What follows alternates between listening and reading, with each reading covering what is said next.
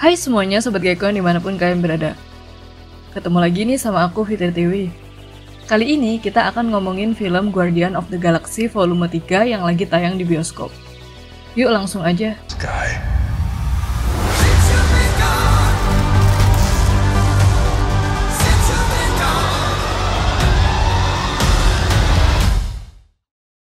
Petualangan Star-Lord, Gamora, Drax, Rocket Raccoon, Groot, Mantis, dan Nebula kembali berlanjut di film Guardian of the Galaxy volume 3.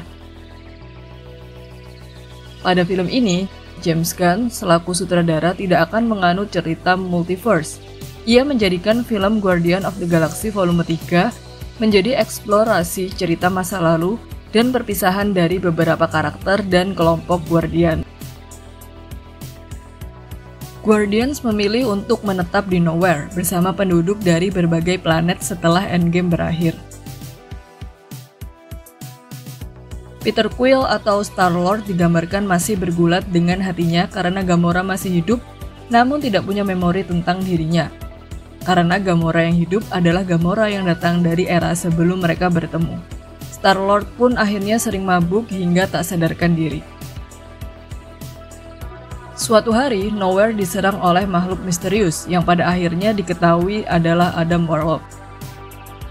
Ia merupakan makhluk super yang diciptakan Sovereign, yang diberi misi untuk menculik Rocket Raccoon. Namun ia gagal membawa Rocket Raccoon dan membuat Rocket Raccoon terluka parah hingga nyaris tewas. Ia kemudian kembali untuk melapor ke Ayesa yang merupakan pemimpin bangsa Sovereign. Tak sendiri, Ayesa bekerja sama dengan High Evolutionary yang merupakan ilmuwan jenius yang terobsesi menciptakan peradaban baru di planet Counter Earth. Para Guardian of the Galaxy memulai misi untuk melindungi Rocket Raccoon dan mengeksplorasi asal-usul Rocket Raccoon dan High Evolutionary yang menakutkan dan juga misterius. Layaknya film Guardian of the Galaxy sebelumnya, Film ini masih kuat akan aura kocak dan musik. Dua hal inilah yang menjadi daya tarik yang kuat dan khas. Setelah menonton film ini, lagu Creep dari Radiohead tak akan sama lagi jika kita dengar. Untuk urusan sinematografi yang ditampilkan di film ini sangat apik. Adegan bertarungnya cukup keren. Peter dan Groot tampil kompak membasmi musuh. Jangan lupa juga, Nebula yang selalu berhasil membuat kagum karena kemampuannya yang luar biasa. Namun yang paling mengaduk emosi penonton adalah ketika kita diajak untuk menyelami masa lalu Rocket Raccoon yang kelam. Ketika ia menjadi uji coba, hingga akhirnya ia harus kehilangan teman-teman yang ia cintai. Berkali-kali penonton dibuat terharu dan mungkin menangis melihatnya. High Evolutionary juga dapat dibilang salah satu villain terbaik di MCU. Mukanya cukup sangar, tak ada dialog yang lucu yang ia utarakan. Tujuannya juga jelas dan tegas.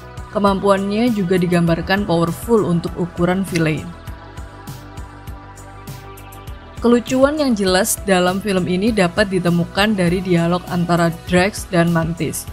Keduanya berhasil mengocok perut penonton namun juga menggambarkan bagaimana kuatnya persahabatan mereka.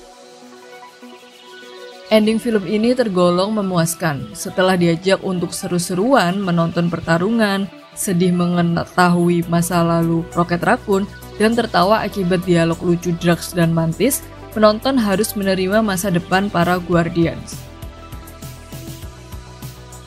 Film Guardian of the Galaxy Volume 3 akan menjadi akhir kelompok Guardians of the Galaxy. Hal ini pun telah dikonfirmasi oleh James Gunn selaku sutradara. Guardian of the Galaxy Volume 3 juga akan menjadi akhir bagi sang sutradara James Gunn. James Gunn sebelumnya selalu menyutradarai film Guardian of the Galaxy. Sejak Guardian of the Galaxy tahun 2014, Guardian of the Galaxy Volume 2 tahun 2017, dan kali ini Guardian of the Galaxy Volume 3 tahun 2023. James setelah ini akan pindah ke DCU, dan akan menyutradarai film Superman Legacy yang direncanakan akan tayang tahun 2025. Nah, itu tadi review film Guardian of the Galaxy Volume 3. Buat kalian yang belum nonton film ini, tonton dulu ya guys. Jangan lupa, ada dua post credit scene yang akan muncul di film ini. Pastikan tetap di kursi kamu ya Gayconers. See you!